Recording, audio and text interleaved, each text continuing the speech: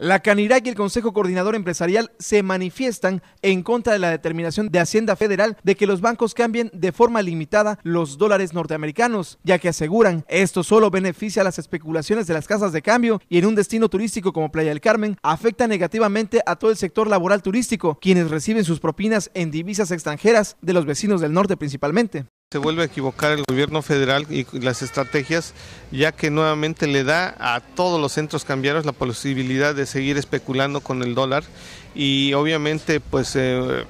como muchos saben, hay mucha gente que se dedica ahí eh, a, los malos manejos del dinero y que eso era lo que favorece este tipo de situaciones, ¿no? Amén de darles el negocio privilegiado a las, a las casas de cambio. Es por ello que todos los sectores productivos turísticos de la Riviera Maya dicen que alzarán la voz con la Comisión Nacional Bancaria, ya que la base trabajadora de la principal industria de este destino se estará afectando, pues las llamadas casas de cambio, de las cuales incluso hay algunas de dudosa reputación, especulan con el valor de las divisas a su antojo, atentando contra las ganancias de los meseros, guías de